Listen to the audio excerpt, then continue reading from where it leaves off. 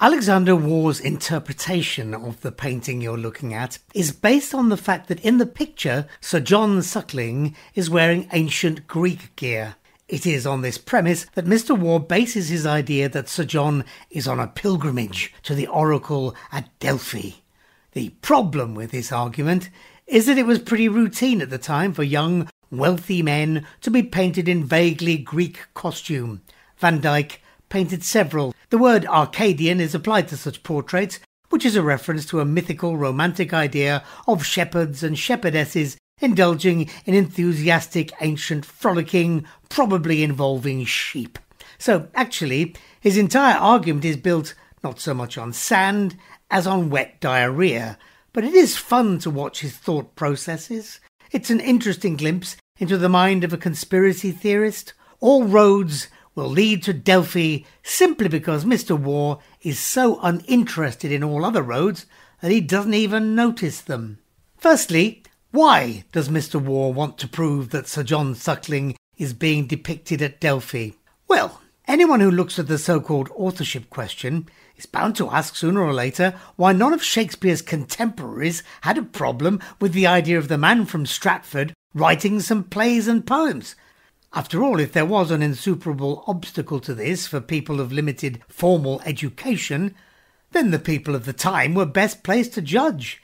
Yet those obstinate Elizabethans and Jacobeans stubbornly refused to raise a single doubting voice, Thus, it is important to find people of the period saying, albeit in heavily coded messages, that of course they knew that the ignorant oik from Stratford wasn't the writer. Since Shakespeare's work features heavily in this painting, Mr. Waugh wants to find a way of showing that Van Dyck and John Suckling both thought that Edward de Vere was the true author. Taking him to Delphi increases the opportunities for smoke, mirrors, distraction, and deflection. One of Mr. Waugh's first points is the expression on Suckling's face as he stares into the middle distance. What is he thinking of? Is he perhaps listening to something? Why the rapt expression?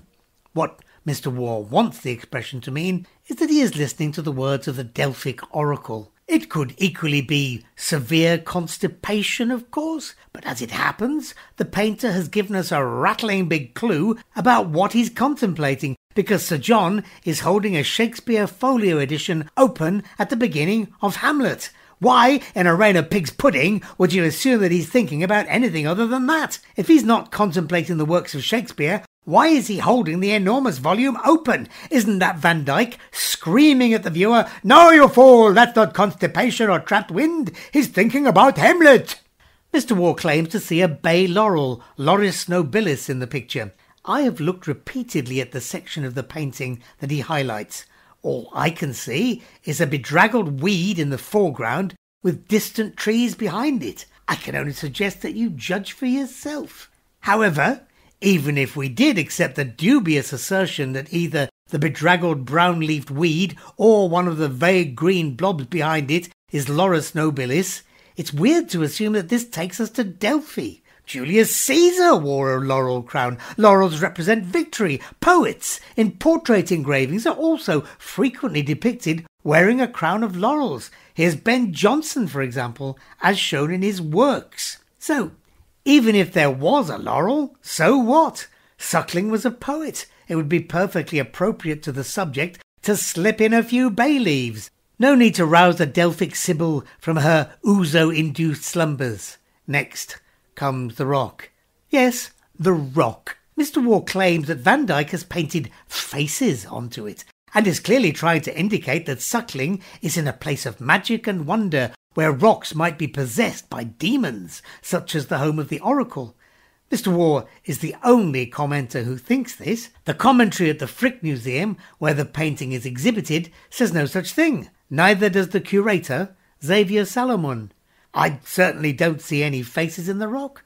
Maybe I lack imagination, but actually, if you take a picture of a cliff face, then your phone will often identify faces in it Mine does. So even if you're only a Samsung Android, you'll find faces in rocks if you're looking for them. I think Mr. Waugh is trying just that bit too hard here. But suppose there were faces. Should that necessarily lead to Delphi? Why not Catholic purgatory, or the burning victims of the Inquisition, or the devils cast into hell after the conquest of Lucifer? Nope. We are heading for Delphi, come hell or highly ridiculous. Frolicking, here we come.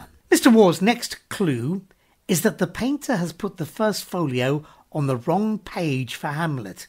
Well, actually, there's a massive assumption here, and as a devout lapsed Catholic, I'd say that the only person who's allowed to make assumptions is the Virgin Mary. You see, there's no way of knowing that this is meant to be the first folio. Arguably, it's more likely to be the second folio of 1632, published just six years before the date of this painting. If that were the case, then the page numbering about which Mr. Waugh makes a great fuss would be completely different. Hamlet begins on page 272 in the second folio, not 153 which completely screws up Mr. Waugh's other assumption, because apparently the number 153 is in some way linked to Edward de Vere.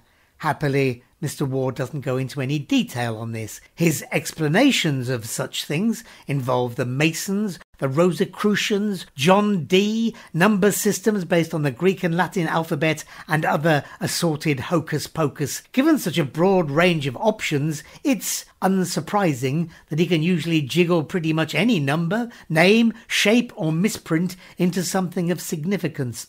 But even if it is the first folio that's being depicted, it's apparent that Van Dyck has not tried to reproduce the actual page anyway.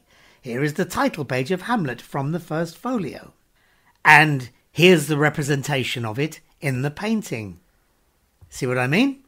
Van Dyck is pretty well just making it up, and it seems he just used the page in the most convenient place for the viewer to get the idea that Sir John likes Hamlet. Simple and bleeding obvious, but it's the interpretation of the motto on the painting, bottom right, that I find most hilarious. Ne te quaesiveris extra. Do not look outside yourself. It's in Latin, so it can hardly be claimed as the utterance of a Greek oracle. Thus, a smokescreen is provided in the shape of the paean to Apollo. He makes the assumption, another one, that this hymn would be used in order to evoke the oracle. The paean begins, Io, Io, I would draw your attention to the precipitous leap of logic here. In order to interpret a Latin motto, he invokes a Greek god and the first line of a Greek hymn in his praise. There are some who can't see a conclusion without jumping to it, and the urbane Mr. Waugh is clearly one of them. I have to say that for me, I-O-I-O should be followed by It's off to work we go. But for Mr. Waugh, this is a secret signalling of 1010, which he interprets as an instruction to split the motto into two blocks of 10 words, which gives us veris at the beginning of the second block of 10, which can be grammatically shifted to a different declension of the word, don't ask me why, into veer, making the motto mean don't look outside of veer. Of course, and there's a much more logical and less tortured possibility in interpreting the motto. One of the greatest of Hamlet's lines is, Oh God, I could be bounded in a nutshell and count myself a king of infinite space, which is pretty much the same as Don't look outside yourself, which would mean that the motto is an echo of one of the lines in the play which he's supposed to be reading. That would seem to be very much in tune with what's going on in the painting, a reference to the book that features prominently in it rather than to the god of Apollo, who doesn't feature at all. Another rendering, according to one of the commentaries on the painting, interprets this as simply, we don't need to look outside our own culture for poets we can emulate, which also makes perfect sense in the context of an English writer of 1638 speaking of his countryman William Shakespeare, whose book he is pictured reading.